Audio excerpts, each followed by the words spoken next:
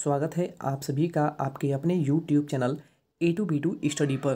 दोस्तों, पिछली वीडियो में हमने आपको UP polytechnic entrance exam 2022 group A के छात्रों के लिए, जो 2022 में पेपर कंडक्ट कराया गया था जे के द्वारा ऑनलाइन एग्जामिनेशन का जो पेपर था, वही सेम पेपर हमने आपको सॉल्व करा दिया था। पार्ट वन में हमने आपको पचास क्वेश्चन जो है वो ऑलरेडी सॉल्व करा दिया था, यानी पूरे पेपर को आपको दिखा भी दिया था। आज की वीडियो में हम इक्यावन से लेकर के सौ तक के जितने भी क्वेश्चन पेपर में प्रश्न पूछे गए थे, वो आज हम आपको दिखाने वाले हैं और सॉल्व भी कराने वाले हैं। इसमें जो क्वेश्चन आपको न समझ में आए। और दोस्तों, अगर आपने पार्ट वन वीडियो नहीं देखी है तो उस वीडियो को ज़रूर देख लें। उसका लिंक आपको इस वीडियो के डिस्क्रिप्शन में मिल जाएगा और वीडियो के डिस्क्रिप्शन में आपको लास्ट में भी आपको इस वीडियो का लिंक भी देखने को मिल जाएगा। तो ज़्यादा समय न लेते हुए चलिए स्टार्ट करते हैं। जैसा कि इक्यावन नंबर क्वेश्चन आप देख सकते हैं, जब एक कांच की छड़ को समान अपवर्तांक वाले द्रव में डुबाया जाता है, तब छिद्र क्या होगा? तो वो नहीं दिखाई देगा। ऑप्शन नंबर बी इसका बिल्कुल करेक्ट आंसर होगा। दोस्तों, जो एक से लेकर पचास तक के क्वेश्चन थे, वो आपके मैथमेटिक्स के क्वेश्चन थे और ये इक्यावन से सौ के बीच में जो क्वेश्चन होंगे, वो आपके फिजिक्स और केमिस्ट्री के होंगे। दोस्तों, अगला जो क्वेश्चन है, वो है बल इंटू विस्थापन का ऐसा मात्रक क्या है? तो इसका जो ऑप्शन नंबर डी है, वो होगा करेक्ट आंसर क्वेश्चन आपको दोनों ही लैंग्वेज में दिख रहे होंगे और अगर आपको विजिबल नहीं हो तो आप वीडियो को जूम भी कर सकते हैं। जैसा कि न्यू फीचर जो है यूट्यूब का आ चुका है, आप वीडियो को जूम कर सकते हैं। द्वितीय लोलक की आवृत्ति कितनी होती है? तो ये क्वेश्चन जो है, वो काफ़ी बार पूछा गया है प्रीवियस ईयर क्वेश्चन पेपर में भी। तो द्वितीय लोलक का जो आवृत्ति होती है, वो होती है ज़ीरो पॉइंट फाइव हर्टज अगला आपका चौवन नंबर क्वेश्चन है कि one zero seven zero zero point two zero में सार्थक अंकों की संख्या कितनी है? तो इसमें सार्थक अंकों की संख्या जो है वो सात है। कैसे है? देखिए, आप सभी अक्षरों को काउंट करेंगे। One zero seven zero zero two zero तो टोटल आपके सात अंक हैं। और सातों में कुछ ना कुछ अंक लिखे हुए हैं। अगर ये आपका वन जी, one zero seven zero zero point के बाद आपका अगर ज़ीरो ज़ीरो होता तो ये आपके सार्थक अंक नहीं कहलाता। पर यहाँ पे अगर टू ज़ीरो लिखा हुआ है तो ये आपका सार्थक अंक कहलाएगा। उम्मीद है आपको थोड़ा बहुत क्लियर हो गया होगा। और ज़्यादा जानकारी के लिए आप हमारी प्लेलिस्ट में जाएँ और हमने प्रीवियस ईयर के बहुत सारे क्वेश्चन पेपर भी सॉल्व करा रखे हैं, उन्हें ज़रूर देख लें। देखिए, पचपन नंबर क्वेश्चन क्या कह रहा है कि एक कण वृत्ति पथ पर गति कर रहा है। यदि कण घूमने का आवर्तकाल आधा रह जाता है तो अभी केंद्र त्वरण दो हो जाएगा। क्या हो जाएगा? तो वो चार गुना हो जाएगा, यानी फोर इंटू मल्टीप्लाई हो जाएगा। ठीक है? अगला क्वेश्चन है, दो लंबे समांतर तारों में एक ही दिशा में विद्युत छात्र प्रवाहित हो रही है। तार एक दूसरे को क्या करेंगे? अगर एक ही दिशा में, देखिए, एक चालक ये है, एक चालक ये है। जब दोनों में एक ही दिशा में धारा प्रवाहित हो रही है ना तो ये जो तार होंगे, दोनों ऊपर नीचे, दोनों ही वायर एक दूसरे को आकर्षित करेंगे, यानी दोनों के बीच में जो है चुंबकीय क्षेत्र विद्यमान हो जाएगा और दोनों एक दूसरे को अट्रैक्ट करेंगे, यानी एक दूसरे के पास आने का प्रयास करेंगे। अगला क्वेश्चन देख लेते हैं। नेक्स्ट क्वेश्चन आपका है, बारह ओम प्रतिरोध के तार की ओर खींचकर उसकी लंबाई तीन गुना कर दी जाती है। तो अंतिम प्रतिरोध क्या हो जाएगा? तो अंतिम प्रतिरोध जो होगा वो वन ज़ीरो एट के बराबर हो जाएगा। उसी प्रकार अगला क्वेश्चन है दर्शाए गए चित्र में पी व क्यू का तुल्य प्रतिरोध क्या होगा? तो इस पी और इस क्यू के बीच में आपको प्रतिरोध ज्ञात करना है। अगला क्वेश्चन देख लेते हैं दोस्तों। अगला क्वेश्चन है कि बीस सेंटीमीटर फोकस दूरी का एक अवतल लेंस है, जो कि पच्चीस सेंटीमीटर फोकस दूरी वाले दोस्तों, इसका जो करेक्ट आंसर होगा, वो होगा आपका माइनस के नाइन डी, ठीक है? अगला क्वेश्चन है, एक स्क्रू गेज की चूड़ी की pitch zero point five M M है। यदि गेज के वित्तीय पैमाने पर पचास भाग बने हो तो स्क्रू गेज का अल्पतमांक क्या होगा? तो वो होगा zero point zero one M M यानी मिलीमीटर। दोस्तों, ये सब क्वेश्चन आप ये नहीं कह सकते कि ये सब क्वेश्चन नहीं आएँगे एग्ज़ाम में, या फिर ये सब क्वेश्चन काफ़ी हार्ड है। ये सब क्वेश्चन आए हुए हैं। दो हज़ार बाईस का जो क्वेश्चन पेपर है ना ये वही क्वेश्चन पेपर है, जो कि 2022 के कुछ छात्रों ने पेपर दिया था और आप 2023 में पेपर देने जा रहे हैं। तो ये 2022 का वही क्वेश्चन पेपर है, ठीक है? ये ध्यान में रख कर ही पेपर देखिएगा और कोई भी क्वेश्चन को स्किप नहीं करिएगा, क्योंकि आपके हर एक क्वेश्चन जो है वो चार अंक के हैं। अगर आपने गलती भी कर दिया आज गलती से भी अगर आपने गलती कर दी तो आपके एक अंक जो है वो काट लिए जाएँगे। ये भी आपको पता होना चाहिए। शून्य केल्विन तापमान का मान फाइनाइट पैमाने पर क्या होता है? तो वो होता है आपका माइनस के फोर फाइव नाइन यानी चार सौ उनसठ पॉइंट फोर। ठीक है? ये क्वेश्चन सॉल्व करने के लिए आपको ये पता होना चाहिए, जो सेल्सियस और फाइनाइट में संबंध होता है C by five equal to F minus बत्तीस बटा नौ। ये सेल्सियस और फाइनाइट के बीच में मैं संबंध बता रहा हूँ। अगर आप केल्विन के बीच में भी संबंध देखना चाहते हैं तो आप अपने बुक में देख लीजिएगा, वहाँ पे आपको देखने को मिल जाएगा। देखिए, अगला जो क्वेश्चन है, किलोवाट घंटा किसका मात्रक है? तो किलोवाट घंटा जो है वो एनर्जी यानी ऊर्जा का मात्रक है। उसी प्रकार अगला क्वेश्चन है, एक चालक की बोधता भी धारा आई के मध्य ग्राफ एक सरल रेखा है जो वाई अक्ष धारा प्रदर्शित करता है। से थीटा कोण पर झुकी है चालक का प्रतिरोध क्या होगा? अगर आपको क्वेश्चन समझ में नहीं आता है तो आप इंग्लिश वाला देख सकते हैं। इसका जो करेक्ट आंसर है वो होगा टेन थीटा अगला क्वेश्चन देख लेते हैं। निम्न में से कौन सी घटना ध्वनि तरंगों के लिए संभव नहीं है? तो ध्रुवण जो है, ये ध्वनि तरंगों के लिए संभव नहीं है। अगला क्वेश्चन है, जब कोई अपरिवर्तित प्रकाश किरण दो माध्यमों के पृथककारी सतह से अनुदिश चलती है तो अपवर्तन कोण क्या होता है? तो वो नाइन्टी डिग्री के बराबर होता है। उसी प्रकार आपका छाछठ नंबर क्वेश्चन है और इसका करेक्ट आंसर होगा बारह न्यूटन, ठीक है? चलिए आगे देख लेते हैं। नेक्स्ट क्वेश्चन क्या है कि सरल रोलक के गोले का द्रव्यमान बढ़ाकर चार गुना कर दिया जाए तो आवर्त काल क्या हो जाएगा? तो वो वही रहेगा सेम बना रहेगा, ठीक है? समान बना रहेगा। दोस्तों, ये क्वेश्चन पेपर जो है, ये पार्ट टू वीडियो है। अगर आपने पार्ट वन में एक से इक्यावन सॉरी एक से लेकर पचास तक की क्वेश्चन जो कि मैथमेटिक्स के मोस्ट इंपॉर्टेंट क्वेश्चन थे, अगर आपने उन्होंने नहीं देखा है तो इसी वीडियो के डिस्क्रिप्शन में चले जाइए, या फिर इसी वीडियो के प्लेलिस्ट में चले जाइए। आप उस वीडियो को भी ज़रूर से देख लें। अगर आपका अच्छा अच्छा खासा कमेंट रहा, ठीक है तो अगर आप सभी का अच्छा खासा रिस्पॉन्स रहा इस वीडियो को लेकर के तो हम आपको इसका पूरा सॉल्यूशन वीडियो भी प्रोवाइड जल्द कर देंगे।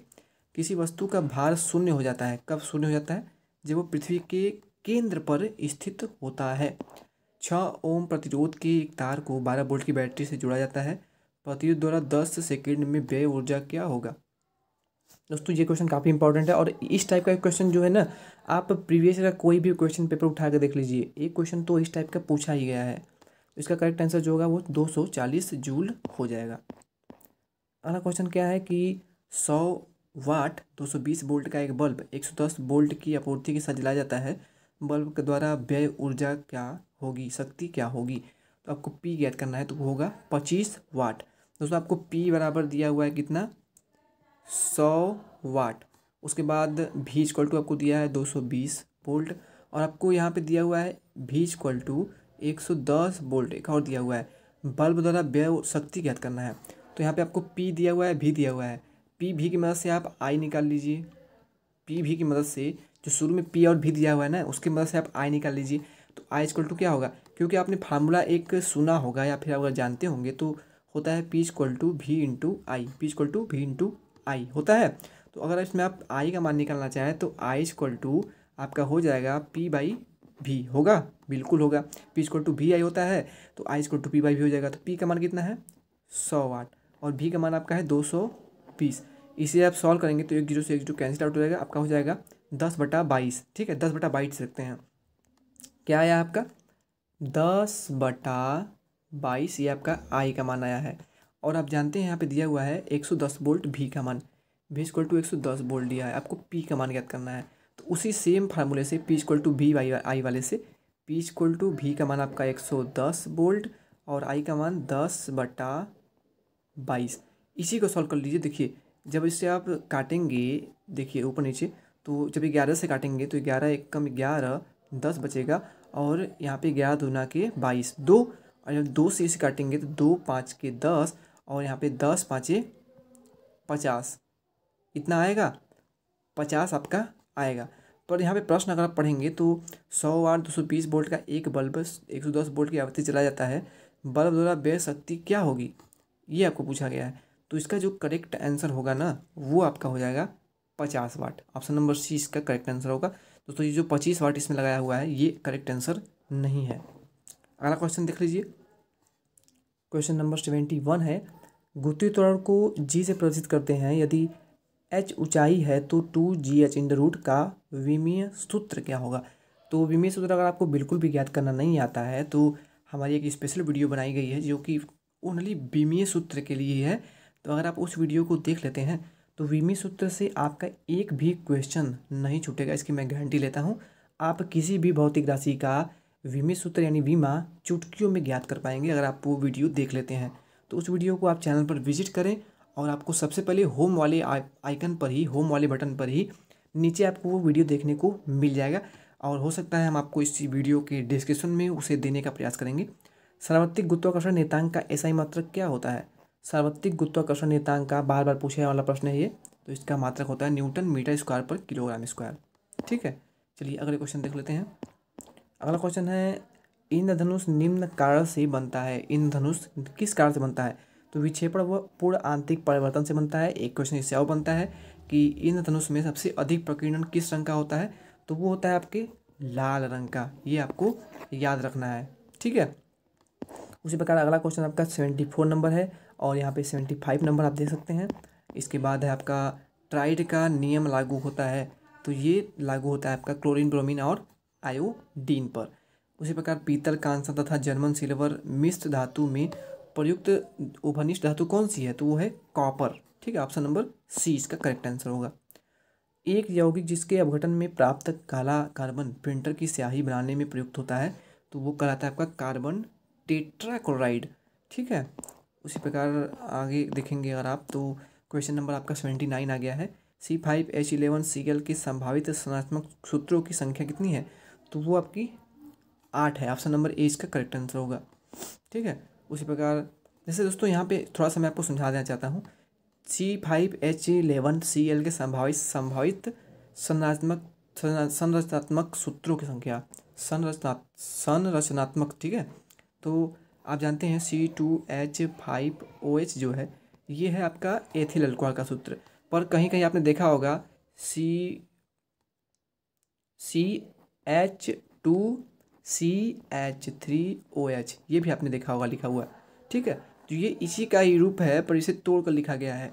तो ये इसका एक प्रकार का संरचनात्मक संरचनात्मक सूत्र हुआ। ठीक है? संरचनात्मक, ये बोलने में थोड़ी दिक्कत हो रही है। देखिए परम शून्य दाब प्राप्त किया जा सकता है। तो माइनस टू सेवन थ्री यानी दो सौ तिहत्तर डिग्री सेंटीग्रेड पे हम परम ताप प्राप्त की जा सकते हैं या फिर कर सकते हैं। निम्न में कौन कीटनाशक नहीं है? तो दोस्तों डी यानी डाइक्लोरो डाइफिनाइल ट्राइक्लोरो एथिन ठीक है? डी ये काफ़ी इंपॉर्टेंट है, इसका नाम भी आपको फुल फॉर्म भी पूछ लेता है। तो डाइक्लोरो डाइफिनाइल ट्राइक्लोरो एथिन याद रखिएगा, ठीक है? बी एच सी मालाथियन ये सभी आपके एक प्रकार से कीटनाशक हैं। मालाथियन का आपने नाम भी सुना होगा। पर दोस्तों, ये सर्पशील है ना, ये इसमें से अलग है। तो इसीलिए वो करेक्ट आंसर भी हो जाएगा। देखिए स्टार बहुलक है स्टार्च तो ये ग्लूकोज और फ्रक्टोज दोनों का ही बहुलक है। प्लास्टिक क्या है? तो प्लास्टिक एक प्रकार का बहुलक है। आप जानते होंगे, अच्छे से पढ़े होंगे, आपने हाई स्कूल में पढ़ा होगा इंटर में पढ़ा होगा। एन एक यानी सोडियम पे आपका एक धनात्मक चार्ज है। में प्रोटानों की संख्या क्या होगी? प्रोटानों की संख्या होगी आपकी ग्यारह। सोडियम का परमाणु क्रमांक कितना होता है बताइए?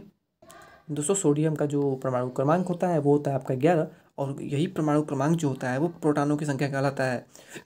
तो इसका ऑप्शन नंबर ए हो जाएगा करेक्ट आंसर उसी प्रकार, अगला क्वेश्चन है, निम्न अभिक्रिया एक्स प्लस टू आई उत्पाद में अभिक्रिया की अनुवाक्यता क्या है? तो वो तीन हो जाएगा इसका करेक्ट आंसर घड़ी के पेंडुलम बने होते हैं तो वो इनवार के बने होते हैं। ठीक है? ये सब क्वेश्चन जो ऐसे क्वेश्चन है जो कि सभी छात्र गलत करके आते हैं। पर अगर आपको पता हुआ तो आप करेक्ट करके आएँगे। अमोनिया को सुखाया जाता है, बिना बुझे चूने पर सुखाया जाता है। ठीक है? अगला क्वेश्चन है आपका एट्टी एट नंबर धातुओं को काटने तथा जोड़ने वाला हाइड्रोकार्बन है तो सी टू एच टू ये हाइड्रोकार्बन है। अगला क्वेश्चन है, श्रृंखला अभिक्रिया को नियंत्रित करने के लिए मंदक के रूप में प्रयोग किया जाता है कौन सा? तो वो ऑक्सीजन का प्रयोग किया जाता है मंदन के रूप में। कहाँ पर? श्रृंखला अभिक्रिया को नियंत्रित करने में। गलित एन में विद्युत धारा प्रवाहित होती है तो वो मुक्त आयनों के कारण, ठीक है? क्योंकि वो गलित अवस्था में इसलिए मुक्त आयनों के कारण एन विद्युत धारा प्रवाहित करता है, ठीक है? जिसको कहते हैं सोडियम क्लोराइड। और दोस्तों, अगर वही ठोसों में पूछता तो आप लगाते क्या? इलेक्ट्रॉनों के कारण, वो भी मुक्त इलेक्ट्रॉनों के कारण, ठीक है? आगे है आपका, एक पदार्थ जो अशुद्धियाँ दूर करने के लिए अयस्क में मिलाया जाता है, क्या कहलाता है? वो कहलाता है आपका गालक, ठीक है? वातावरण में ओजोन क्षरण का मुख्य कारण क्या है? वातावरण में ओजोन क्षरण का मुख्य कारण क्या है? तो वो है सी एफ़ सी यानी कार्बन यहाँ पे सी एफ़ सी इसका फुल फॉर्म मैं आपको बता देना चाहता हूँ, क्योंकि बार बार एग्ज़ाम में पूछा जाता है। दोस्तों, इसे कहा जाता है क्लोरो फ्लोरो कार्बन ठीक है?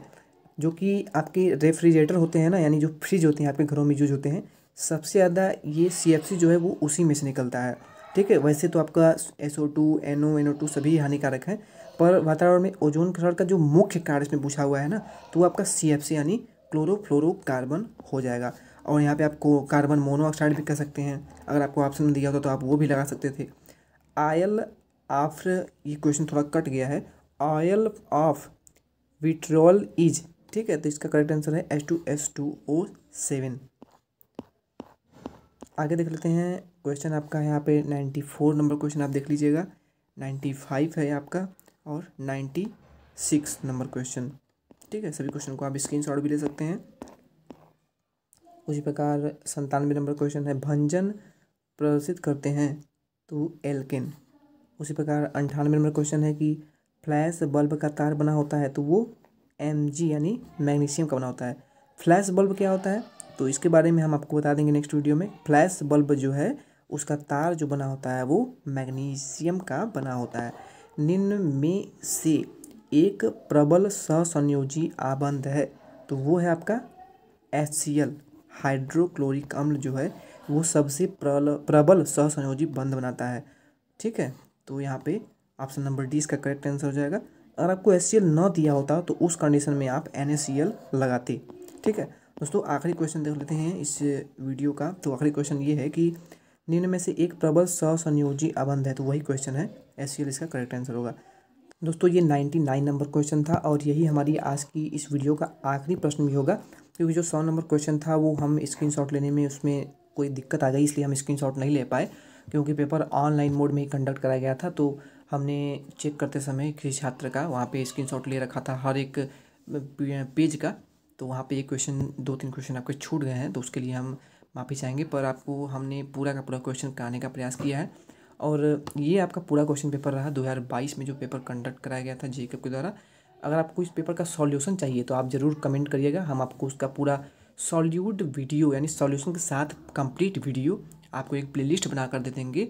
और आपको हर एक क्वेश्चन का डीपली हम सॉल्यूशन प्रोवाइड करा देंगे, जिससे आपको समझ में आ जाए। और उस टाइप का अगर दूसरा क्वेश्चन कोई आ जाए ना तो आप उसे चुटकियों में सॉल्व भी कर पाएँ। तो आपको आज की ये क्लास कैसी लगी, हमें कमेंट सेक्शन में ज़रूर बताएँ। विज़िट कर रहे हैं तो चैनल को सब्सक्राइब ज़रूर कर लें और वीडियो को अपने दोस्तों के साथ शेयर ज़रूर करें।